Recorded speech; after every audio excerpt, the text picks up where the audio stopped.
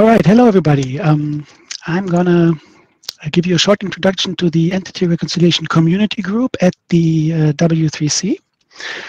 So many of you are familiar with OpenRefine. It's been mentioned a few times in the conference.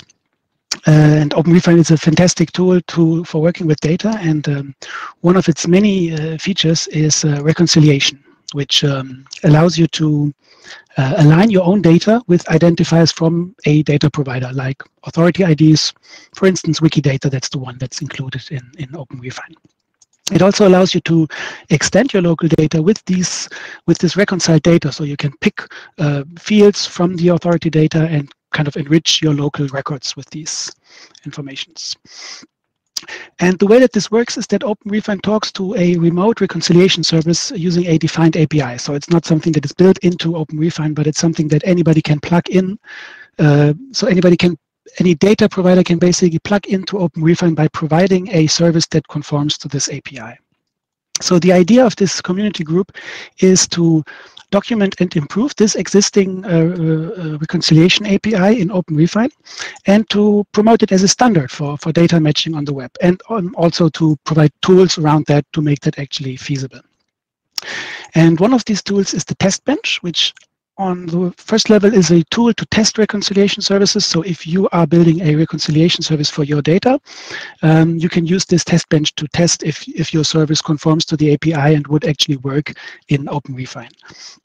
At the same time, it's a central overview of available services. Um, it currently lists 36 services.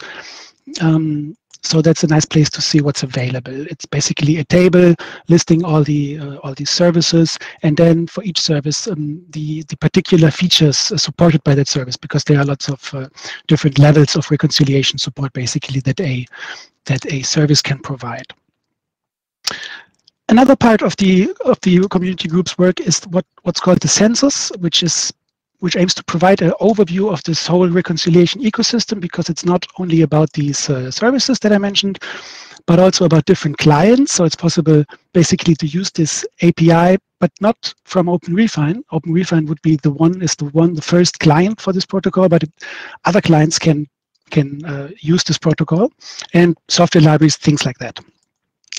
Um, so to, to, give you an idea about what I mean with these clients, so one one example is Alma Refine. It's I, I, don't use Alma, but it's basically a kind of a plugin for the Alma library management system provided by Ex Libris so that from within Alma, you can reconcile your records with different data sources. So you have this, this Alma Refine app, and the app itself, again, can then talk to different reconciliation services, just like Open OpenRefine itself could do.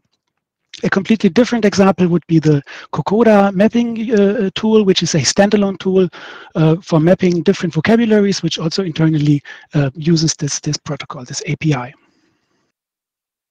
And then, of course, there's like the heart of the work of the community group at W3C is, of course, the, the, the actual specifications of this reconciliation API, um, which is uh, based on this ReSpec software, which many of you probably have seen and which other projects at W3C use. And so there's always a published version of the current draft and so on. Right, so the, the actual work of the group happens on GitHub. There's a GitHub organization. And then for each of these areas that I just mentioned, the test bench, the census and the specs, there are different projects on GitHub. So the barrier to participate is really, really low. You can, you can contribute on these in these projects. You can contribute code. And um, of course, there's also the, the mailing list. So all the discussion is mostly happening on the mailing list. So so there are very different levels from technical working on this actual text, uh, test bench application to uh, writing the, the specifications or improving them. So um, participation is very welcome here on all these levels. All right, so that's it. Thanks a lot.